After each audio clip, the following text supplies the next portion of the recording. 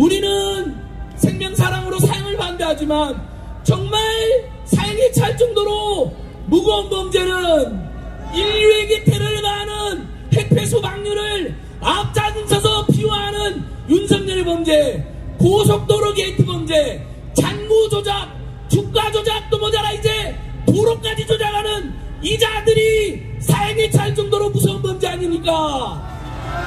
이자들은 지금 자신들의 그 엄청난 비리들이 다 드러나서 이제 우리 국민들께서 여기 나온 피켓처럼 주가 조작, 도로 조작, 김건희, 윤석열 일당을 구속하라고 외치니 그걸 덮기 위해서 뉴스타파와 민주당이 유착됐다는 말도 안 되는 가짜뉴스와 검사를 무려 10명을 투입하는 황당한 짓을 하고 있습니다.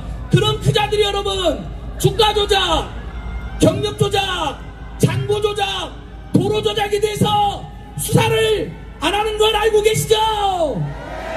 정말로 심각한 범죄에 대해서는 수사도 기소도 하지 않고 있습니다. 그래서 여러분 촛불행동의 응원을 받아서 서울의 소려 민생경제연구소가 공흥지구 비리에서 아예 기소조차 안된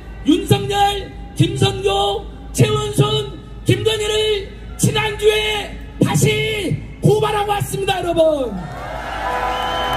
장고 조작에서 주범은 최은순과 김건희입니다.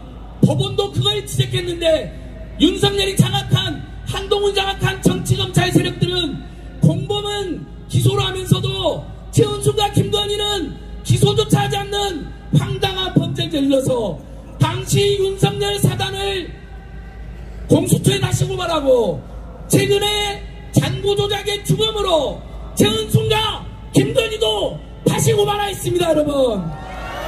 이 무서운 국기문란 처할 정도의 비리를 덮기 위하여 본인 부인 장모 가족 정치의 비리 집단을 비리를 덮기 위하여 지금 죄 없는 뉴스타파를 괴롭히고 이재명 대표를 괴롭히고 윤미향 의원님을 괴롭히고 녹색연합 사무처장을 압수수색하고 구속하는 구속하려고 하는 말을까지 저지르고 있는 것입니다.